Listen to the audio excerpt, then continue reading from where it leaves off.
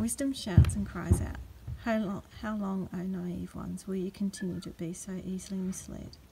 Why do you love being simple minded and undiscerning? How much longer will you ridicule, deride, and delight in scoffing at the Lord's wisdom? How long will it take for you to see the truth? Why do you continue to be such a fool by mocking truth and hating true knowledge? Will you please turn and pay attention to wisdom's rebuke? For if you listen to the cry, then surely God will pour out his Spirit upon you. He'll make his glorious words of life known to you. For so long now, Lord God has been calling, but you refuse to answer. He has stretched out his wonderful hand of grace and mercy, yet no one has paid attention to his offer. Instead, you treated all of God's counsel as worthless words and would not accept his reprimand. He's left laughing at your disaster, mocking you when dread and panic comes. For dread and panic come like a storm, disaster like a whirlwind. Then anxiety and distress come upon you as retribution. As all you've built comes crashing down, you may then cry out and call upon wisdom, but wisdom will not answer you. You will seek God's counsel eagerly, but you will not find it. Why? Well, because you hated knowledge and did not choose the fear of the Lord. That is, you refused to obey him with reverence and awe filled respect. Because you would not accept God's counsel and you spurned his rebuke. Therefore you shall eat of the fruit of your own wicked ways and be rewarded with the penalty of your own devices. Because of your careless ease of self righteousness, you fools have destroyed yourselves. But whoever listens to the Lord's wisdom will live securely. So there is time. Repent and call upon the name of Jesus. Ask to be saved. Then you will live in confident trust, at ease, without fear of dread or evil.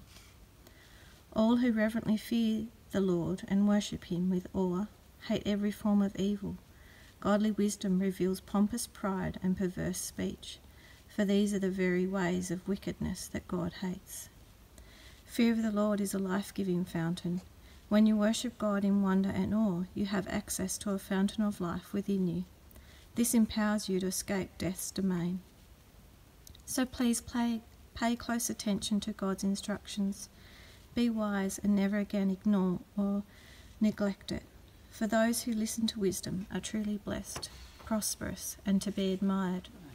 Watch daily for God's directions and wait patiently at every stage of life. Forever finds wisdom, finds life, and obtains favour and grace from the Lord God Almighty. There is a shifting and a shaking. God is once again taking over our great nation. There is a deep crying and loud weeping. Jesus is once again flooding hearts with repentance. There is a great praising and rejoicing, for Holy Spirit is once again releasing amazing grace and jubilation. Build your kingdom here, let the darkness fear. Show your mighty hand, heal our streets and land. Set your church on this nation back. Change the atmosphere, build your kingdom here. We pray. Come set your rule and reign in our hearts again.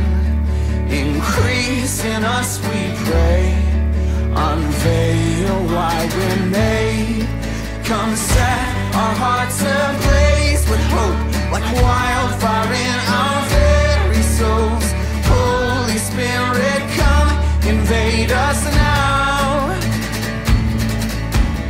We are your church, and we need your power in